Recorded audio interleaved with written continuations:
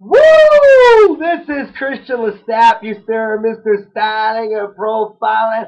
I am with your girl while you're at work, and I'm giving her a ride on Space Mountain all night long. Let's talk about the Mill Creek police again. I feel that all the Millcreek cops should be laid off, and the police in Millcreek will be no more.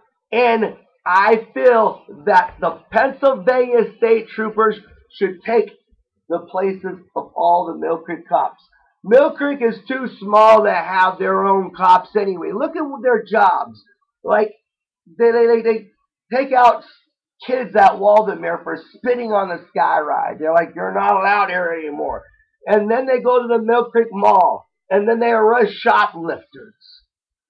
And then the Millcreek cops, well, they, they have to deal with, you know, speeders in traffic situations. And if it wasn't for traffic situations, Millcreek cops would just be overpaid security guards. And, uh, and that's, that's definitely my 100% opinion. Overpaid security guards that are trying to act like they're street thug bullies. Now, I have all respect for the Pennsylvania State Troopers they should not even be called cops. They are state troopers. And I feel, being that Millcreek is so small, that the, the state troopers should be taking the place of the Millcreek cops. Who knows? The Millcreek cops may come to Erie and might become real cops and become Erie cops because Erie cops are real cops. Erie cops have to deal with almost getting shot sometimes. What does Millcreek cops deal with though? A shoplifter at the Millcreek Mall? Woo, the sky ride! Kids are spinning! Woo! Yeah, Millcreek, yeah, kind of lame, kind of lame. So all the Millcreek cops should get laid off, and the respectful, the highly respectful police troopers, the state troopers, the Pennsylvania state troopers should take control of the offices in the police station and make that their like kind of headquarters, whatever. But like I said, yes, Millcreek cops should be laid off. Pennsylvania state troopers will take up their duties. Uh, what's your opinion on this? I like that.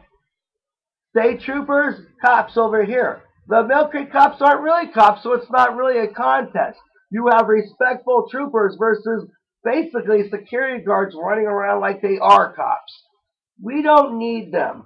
They are a waste of taxpayers' money. Millcreek needs the troopers that are respectful and know how to handle situations. And they ain't going to ask some people who are on bikes just because, oh, I'm bored. Oh, look, there's someone on a bike. Hey, can I see your ID?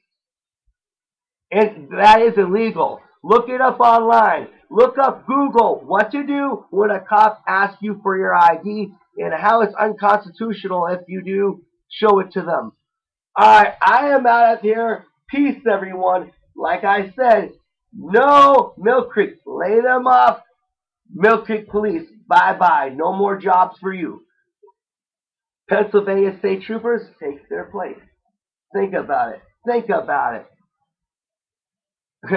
I say what's on my mind and I'll keep on doing it. Woo!